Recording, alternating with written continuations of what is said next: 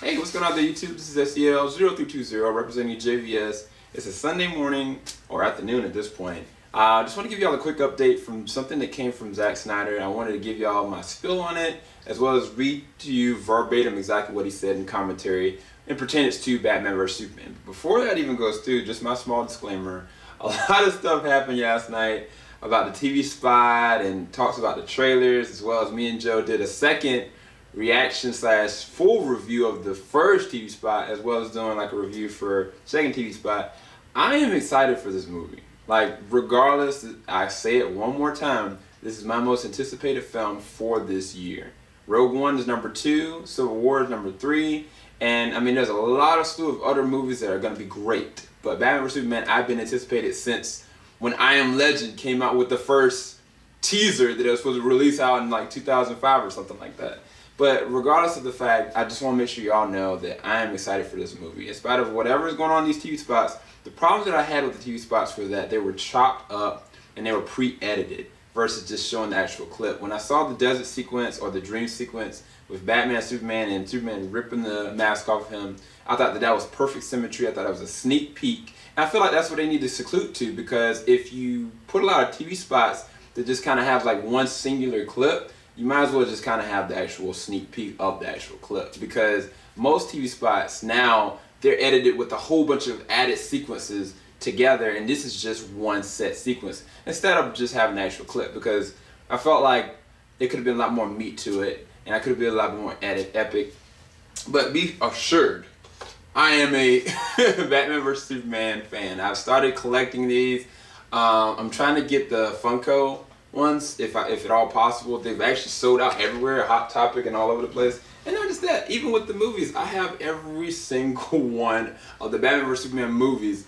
Even the ones for Christopher Reeve. Only ones I don't have is the George Reeves versions and the Adam West versions. But definitely make sure you know I'm excited for Batman vs Superman. Anyway, so this is this is from superherohype.com. So that's our talks Batman vs Superman, Superman spoilers, and Gal Gadot's Wonder Woman. Okay, so um, one of the things that he first says, I have, uh, some people have said that they have indiscrepancies about too many spoilers, which we had that conversation yesterday.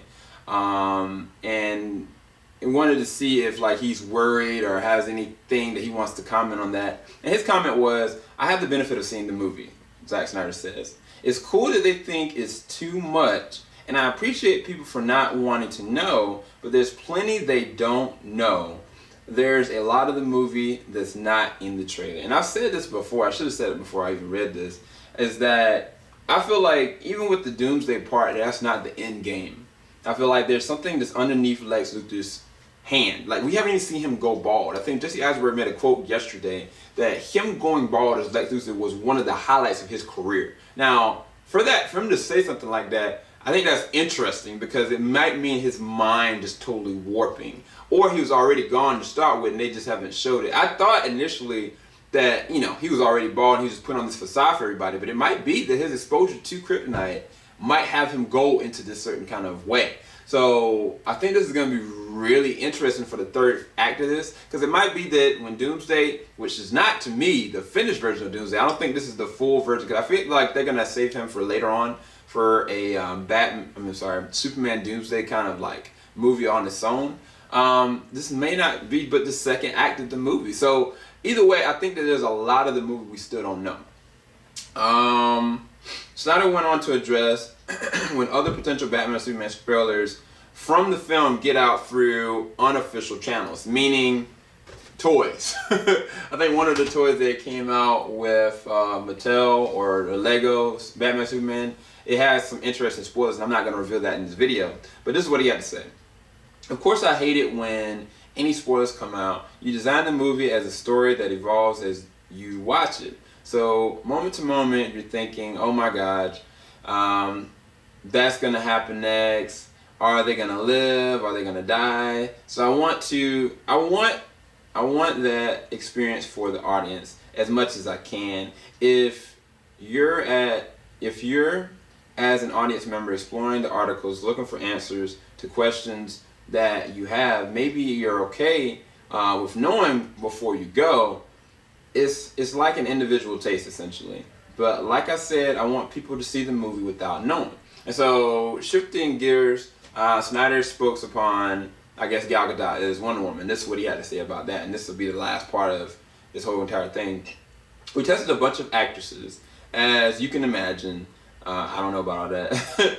uh, but the thing with Gal is that she's strong, she's beautiful, she's a kind person, which is interesting, but fierce at the same time. It's that combination of being fierce but kind at the same time that we were looking for.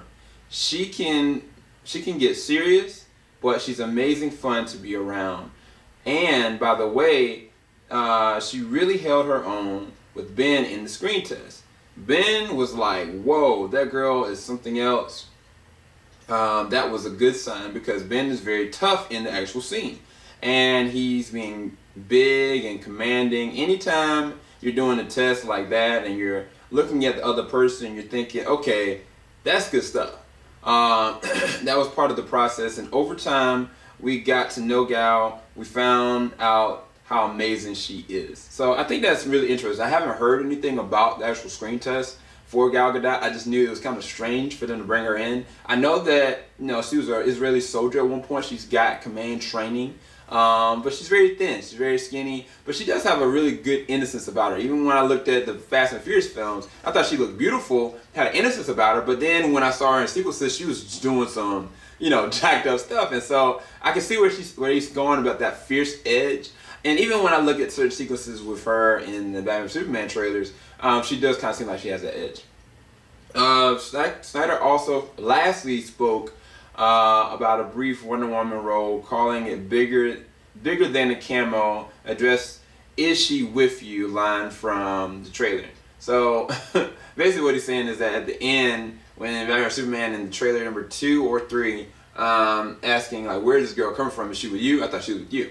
Um, you have to see the movie, what Zack Snyder says, because it gears into the drama of what's happening. And if you see it in context of the film, it will completely make sense that the two of them were trying to figure out who she is. And I think that actually makes sense. And I, I mean, this video is not going to have a whole bunch of clips in. I just really want to give you my input on this specific article because I feel like it's it's perfect symmetry to address it given the past two TV spots. Uh, whereas normally I would put a lot of different clips to show what I mean.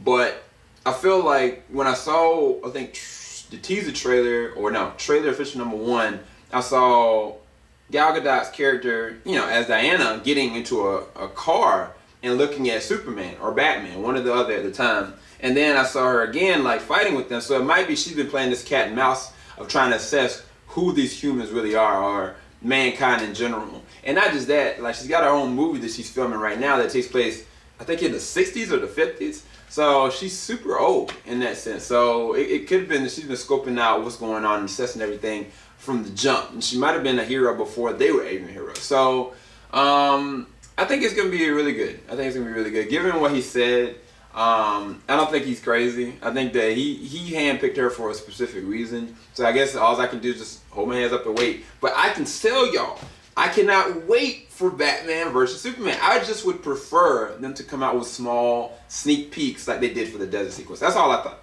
Anyway, leave your comments in the comment section below what you think about Batman Superman. Is it still your most anticipated film coming up for this year? If it's something else, let us know in the comment section below.